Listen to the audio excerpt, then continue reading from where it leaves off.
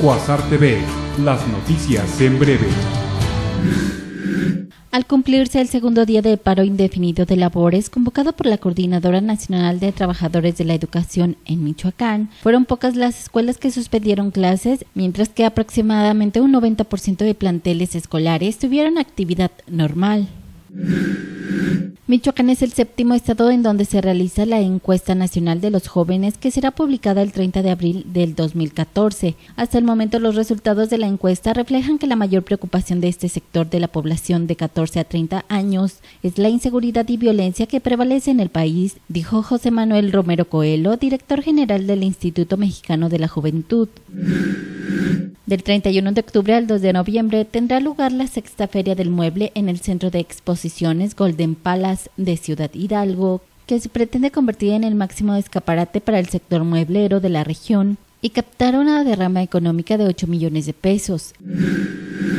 El Ayuntamiento de Morelia abre la convocatoria a la primera exposición fotográfica colectiva Día de Muertos en Michoacán en alente de sus habitantes, a realizarse del 31 de octubre al 2 de noviembre en las instalaciones del Archivo Histórico Municipal de Morelia. Podrán participar aficionados y profesionales de la fotografía, mayores de 18 años, con imágenes de altares de muertos, ofrendas en cementerios, decoraciones y artesanías alusivas al Día de Muertos.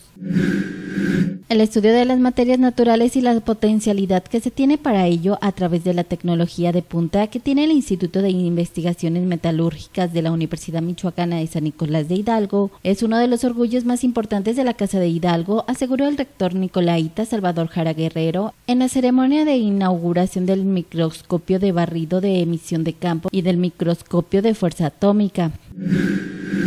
La Universidad Michoacana de San Nicolás de Hidalgo llevó a cabo el quinto encuentro regional de energías renovables organizado por la Asociación Nacional de Energía Solar, con apoyo de la Facultad de Ingeniería Mecánica, donde se aseguró que México será el líder en Latinoamérica en producción de energía eólica y solar. Del 18 al 20 de octubre en la Plaza Valladolid de Morelia se llevará a cabo la Feria del Pan Tradicional de Michoacán, considerada como la más importante de su tipo a nivel nacional, informó en rueda de prensa celebrada en la Secretaría de Turismo del Estado el presidente de Canaimpa en la entidad José Cruz Gutiérrez. Durante los tres días de actividades se espera una afluencia estimada de 50 mil personas que podrán realizar sus compras desde las 12 hasta las 21 horas.